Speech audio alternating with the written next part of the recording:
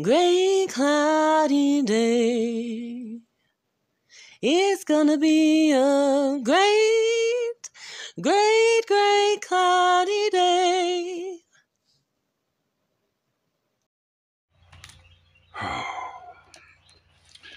Well, good morning. It is still morning time here. It's not even 12 o'clock yet. It's uh, a little after 11.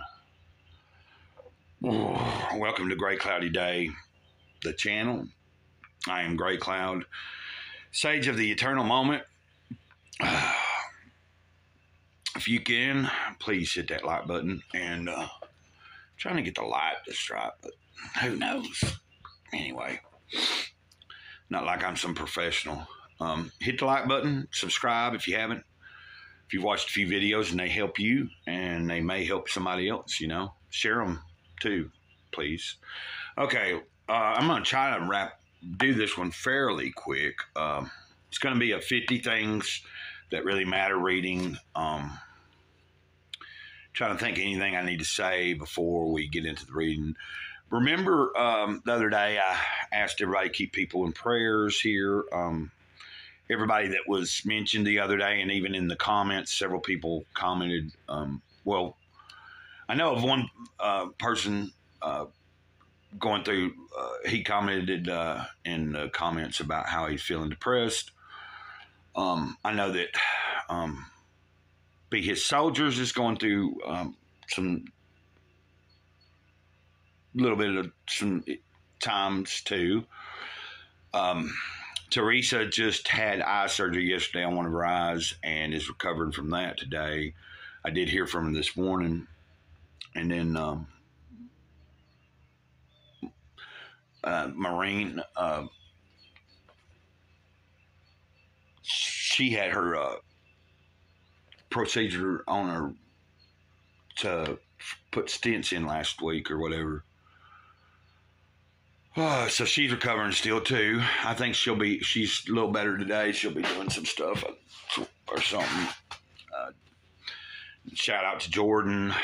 Anybody that's watching, if you're going through anything, whoever you are, just know you're not alone. Um, I'm particularly not feeling that great physically this morning. Um, I got out yesterday, did some, you know, I washed clothes, was out and about. Uh, of course, I got paid Friday and I was out and about then. Went to church Sunday, had a good day. Um, but yesterday I was uh, pretty busy most of the day. It about wore me out. Um, I did sleep all right last night, but I'm just not like I have been uh, ever since I've gotten up. I've been a little lightheaded. I imagine it's probably a combination of my blood sugar from the other day uh, eating that icing because I didn't munch out or get no kind of bad junk food last night or nothing or yesterday. I'm really trying hard, and uh, I got me a couple hamburgers cooked. I'm gonna make something here in a minute after I make this video. Still got to get the puppies out of the room and clean their little spot up. So let's wrap this. Uh, let's get this on. Let me get this done here because um, it does take time to put that intro at the beginning and all that, and then wait for it to process. So here we go. Faith. This is number five from 50 Things That Really Matter. There's an old story about Jeb and the flood that tells us something important about faith. Old Jeb was trapped on his roof as the flood waters were rising around his house. As he sat there, a neighbor passed by in his rowboat, offering to take him to higher ground. Don't worry about me, said Jeb. I have faith. The Lord will protect me. A while later, the floodwaters still rising, a rescue squad arrived in a powerboat and ordered Jeb to evacuate. No need, Jeb insisted. My faith is strong. I'll be fine. A few hours later, when the waters reached the eaves, a National Guard helicopter hovered overhead and lowered a line. But Jeb wouldn't grab hold. The Lord will provide, he said. Not too long after, Jeb's house went under and Jeb with it. When he arrived at the pearly gates, he was none too pleased. Lord, I had such faith in you, Jeb cried. How could you have abandoned me? Abandoned you? Replied the Lord. What are you talking about? I sent you a rowboat, a rowboat, a powerboat, and a helicopter. Like many of us, Jeb had great faith, but it was a faith built only upon miracles that come with flashes of light and trumpet blast. In truth, God often responds to our faith in humble, humbler ways. It might be a kind driver who let us merge when we're stressed from sitting in heavy traffic, or it could be a newspaper article that describes a support group we desperately need.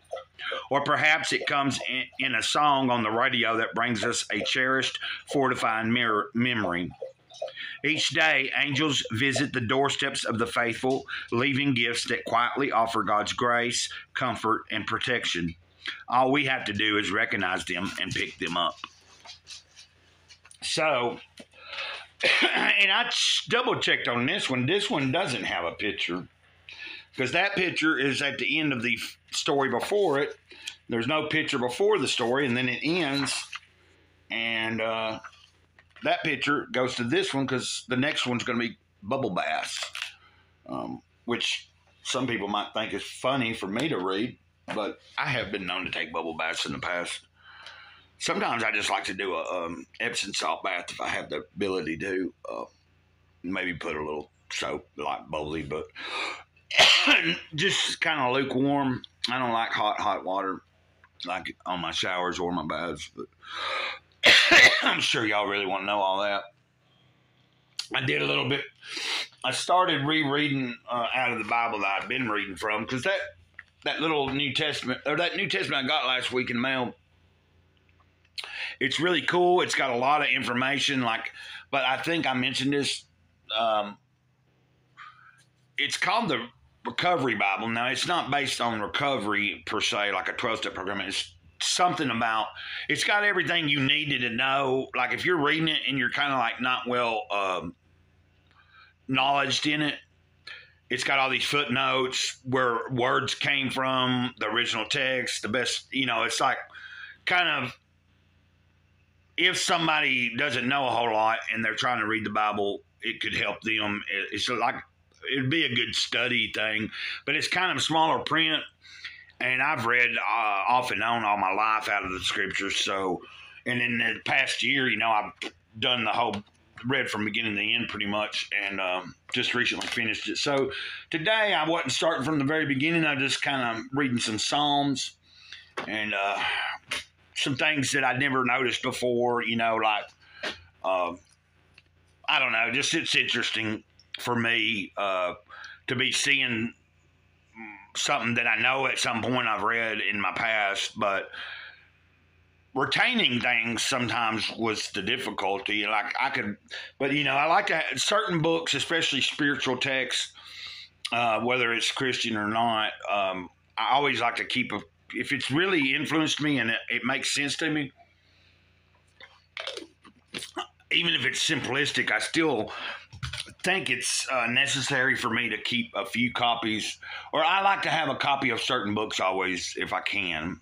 Now, from time to time, I end up with nothing uh, physically in my possession anymore and uh, accumulate more stuff again. But that's what I'm doing with the the Joel S. Goldsmith, which I've only had one of his books back in the day, and uh, maybe two, but that, now I've got four or five of them.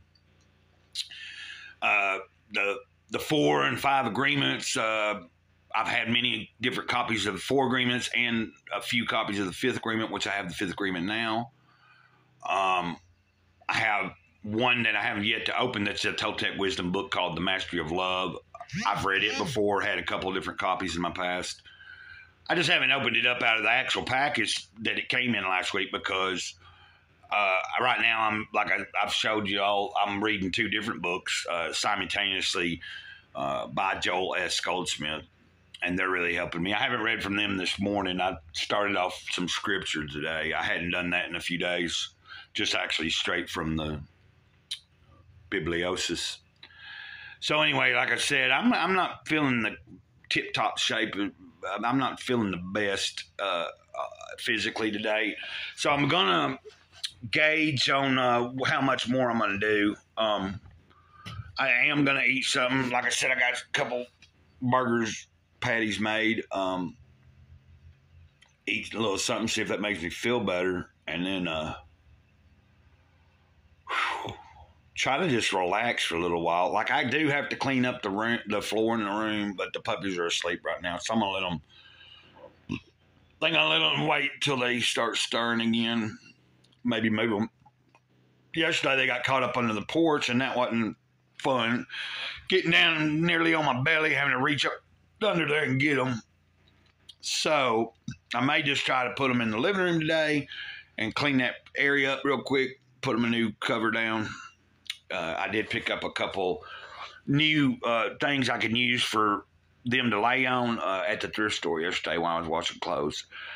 Okay, let's end it because this is going to take a minute.